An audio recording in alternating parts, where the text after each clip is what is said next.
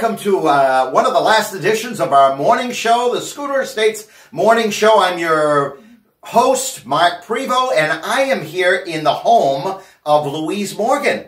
And she is a consummate knitter. She's always knitting. You should see all the stuff she knits and everything she does. Uh, we've known Louise for a long time. She lives here at Schooner Estates, and we just love her. One of our favorite tenants. Really? Yes, absolutely. You never told me that before. oh, shh, I told you not to say stuff like Oh. that. No, I'm just kidding. I'm just kidding. So, Louise, uh, we came right to her home to do this. Louise, tell me where you were born.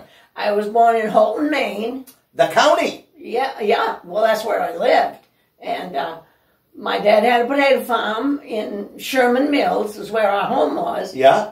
but Houlton was the nearest hospital, so that's where my mom, where all three of us children were born. Right. And then I grew up in Sherman Mills on a potato farm. Boy, I'll tell you, uh, I, I love the county, and we took a trip up there with the tenants uh, probably three, four years ago now, and it was one of the best trips we ever had. Really? Love the county. Yeah. Just love it. And what time of year did you drive by all the potato fields? we they were all in bloom. Oh, with colors. Isn't it beautiful? It was stunning. It was and stunning. white and yellow and Yes, pink. I never knew that. I so the different colors, uh, the different kinds Other of potatoes. different kinds. Yeah. I- Amazing. Yeah. And who knew that potatoes blossom like that? I didn't know that. Really? I, I think. Houlton is missing out, or the county is missing out on a big marketing effort to get tourism up there during that time of year. Well, that could be, and there are a few places for tourists to stay, but they don't.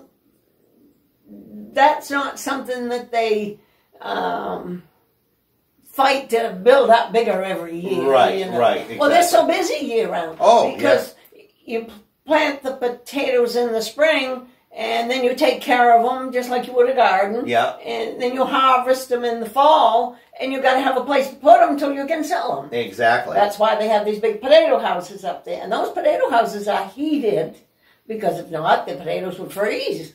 Uh, exactly. Yeah. And there, I notice a lot of them are a little bit underground and then a little bit on top, but they Yeah. do have to heat them. I, Yeah. And they've got lights, I think, that show if something goes wrong with yes, the heating. yes, they do. Because I've well, they do now. Yeah. But back when I was a kid, my father used to have to stay at the potato house his share of nights Yeah. during the winter to keep the stove going because it was just a wood stove then. Isn't that something? Yeah. I'm telling you. And every farmer that stored their potatoes there till they got sold had to work there a certain time to guard everybody else's potatoes. Isn't that fantastic? Yeah? And keep the fire going. You know, uh, Maine's slogan is life the way it should be, or Maine, life the way it, it should be. Yeah. And I think that is for the county. That slogan Oh, really for is for the county. Exactly. You know, the way life should be. Maine, the way life should be. Yeah. And it's it's going back in time and, and those values that are taught even to this day in the county Yeah. of a good work ethic, caring for your Absolutely. neighbors, helping one another. I mean, it's one of the only places where you can still pump gas and pay for it after you pump it. Yeah, Because everywhere you have to pay before you pump. Yeah, right. Uh, and I know it was when they invented the school bus. I remember going to school on, uh, well, it was uh, just a big old station wagon's all it was. And they added a bolt to it and put another set of tires on it. And, oh my God, that's what we rode to school till they invented the big yellow school buses. And my God, they were heated. Can you? Boy, oh boy! So you go back a oh, ways. Oh, I You go back a ways. Yeah, and, yeah. And I, I, I don't know, but my dad had a potato farm, and it was like this. You you left the house and you went up a little level like that. Only it was further away, but Right. it was, and we had a big garden, and then you went up another level, and there was uh, our twenty acres of potatoes, and you could. Then there was a row of trees that went this way, which Yeah. divided this farm from this farm. But you just go past that tree, and there's another 20 acres of potatoes over there. 'Cause I- Twenty acres of potatoes. and the next farm, 20 acres, and the next farm, 30, 40. Yeah. Some of them grew- grew 100 acres of potatoes. wow. Fields you can't even see from one end of them to the other. It, So- it's beautiful when they're in bloom. Oh, gee, it really is. It really pink is. blossoms, white blossoms, yellow blossoms, and what's the other? Well, light purple, I guess. And we would suggest anybody go up there during that time of year, which is probably June, Ju- around Um, well, June or no, July. they're, they're planting then. Um, a little earlier in the spring. August? Yeah. about yeah. August or so. Yeah, There, yeah. yeah.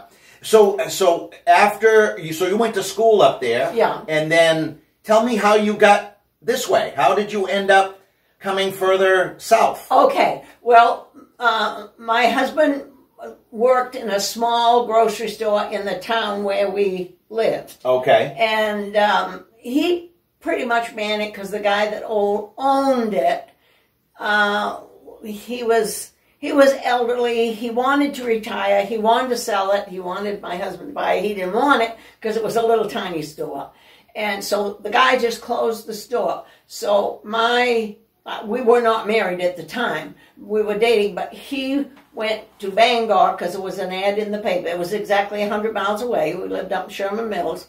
That's just south of Houlton a little ways. Right. And he went down to Bangor and filled out an application at a brand new grocery store that had just been built down there. What the heck was the name of the place?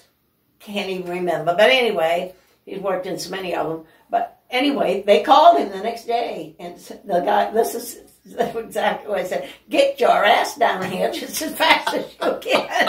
I don't know if we can say that on Schooner TV thirteen ninety. well, then, It's all right. It's okay. I'm retiring. What are they going to fire me? anyway, that's what they said to him. Yeah. So he went, and he came back, and he was all smiles and said. I got the job. I got to be there Monday morning. He said, and you're coming with me. Wow. And, and so away we went. We had a little apartment, and that's where we lived. And he worked in that store uh, for, oh my God, three years maybe he worked in that store. And then he wanted to go to a bigger store, a bigger supermarket that they had just built in the city of Bangor. Yeah. We lived in Hampden, but they, anyway. And he worked there for a while. And then he said, I want my own store. Right. And there was a store for sale, and he bought a store. And In Greene, yes. Greene, Maine. Greene- That's how you ended right across the river. Yeah. In Greene, Maine. In Greene, Maine. And you own that that little store, which is now Gowell's, but it used That's to be. right. Yeah. Yep. That- Still there. That's Still going. fantastic. And I think they've added to it. It's, Yeah. it's got to be bigger now because Yeah. we added to it when we had it. He put a whole back end. It was added onto the store, but it was used for storage so Yeah. that you could go out and get a case of string beans or whatever you wanted right. To- to put on the shelf. yeah. And so he had a storage place for him. and It was all he did and everything. Yeah. Um, the um, you know the people that come in didn't go out there, but that's where their supplies were Right. kept. Right. You got to have storage if you're going to Yes. be selling products. Yeah. And- and- so, tell me, you had a big family. Yep. How many? How many children did you end up? we up had having? seven. Seven children. Now, And- was that because you needed a workforce in the grocery store? Well, I don't know. They all worked, so I guess. But he did when they were when they turned thirteen, and if they wanted to, he didn't make them. But if they wanted to, he took them over to the store, and he said, "This is what the the jobs are here: stocking the shelves." But you have to keep track. When you open a case of something, you have to make a note of it, and you have to keep track of how many you put on the shelf. Then the rest of it goes in the storage room, and you have to know where it goes. So he taught them all that. Well, of course, all they wanted to do was handle the cash up front. That's all they wanted to do. so the girls were all cashiers, and the boys were bundle boys, and uh, stocked the shelves. And by God, they put themselves through college by doing that because he paid them good. He Oh, paid them just like you would anybody else. Boy, that's great. Yeah. That's great. They didn't like it.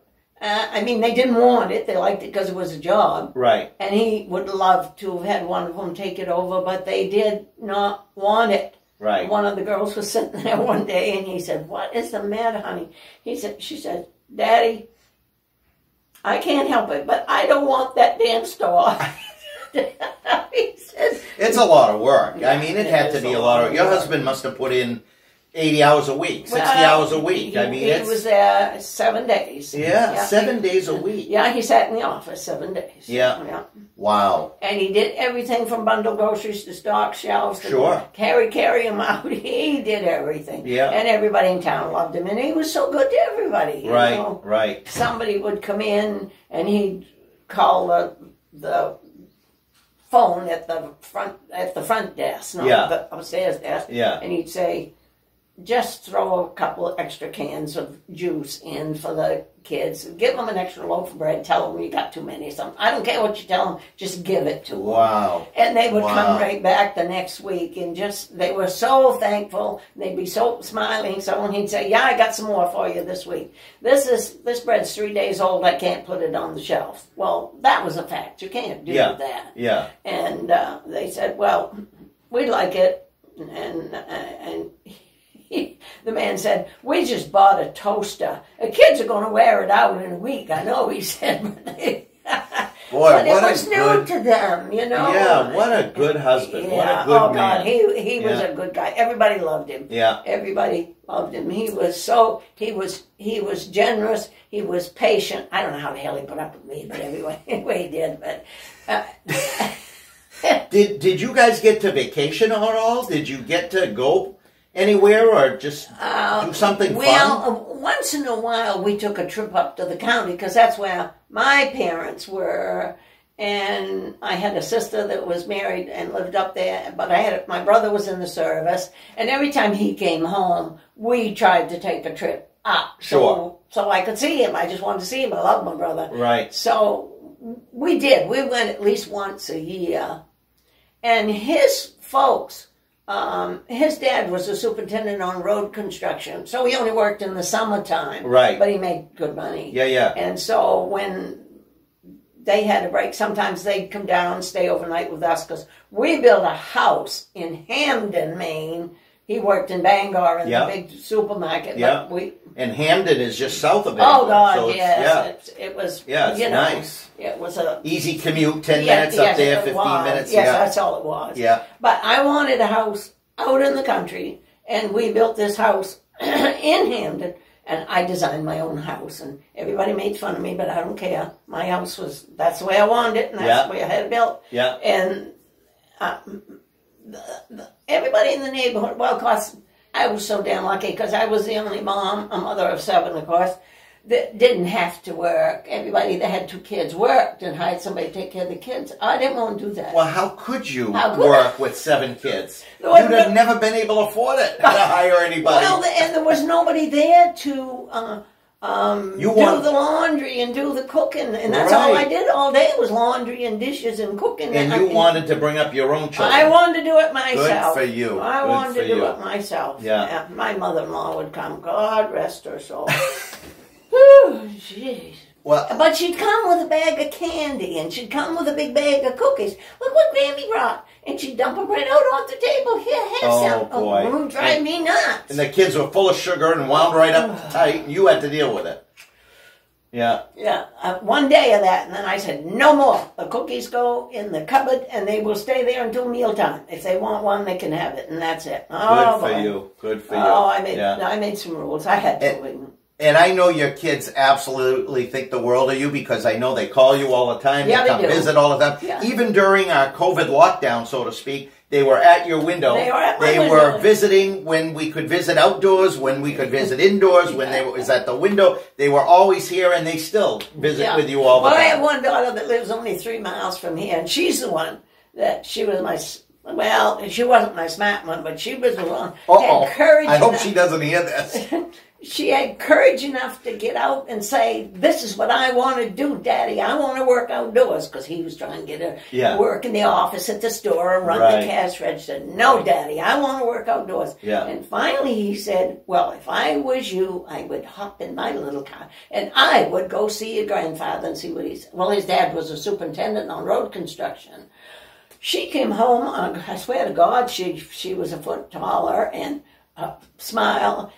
Grandpa gave me a job. And I said, good, what are you going to be doing? I don't know, but Grandpa gave me a job. As long as I'm working outdoors, I don't care. The way she Today, she makes more money than all the other kids put together because she is a superintendent on road construction.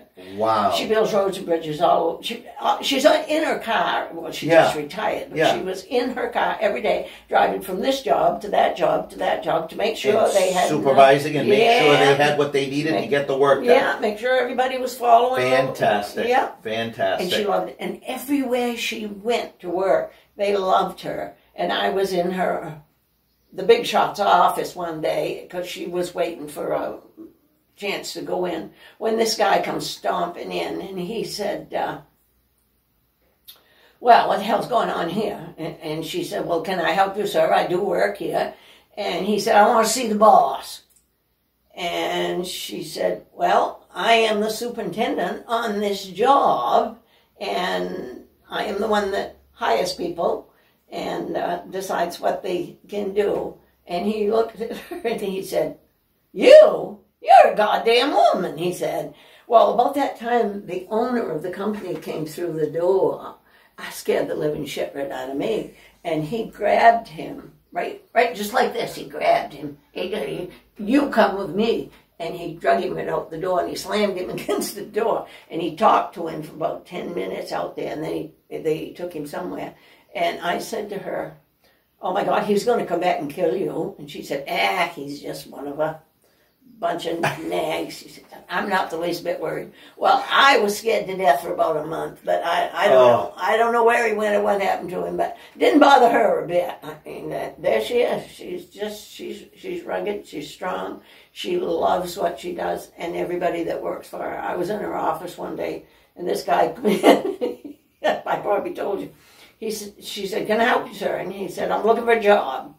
And she said, Well, I am the superintendent on this job.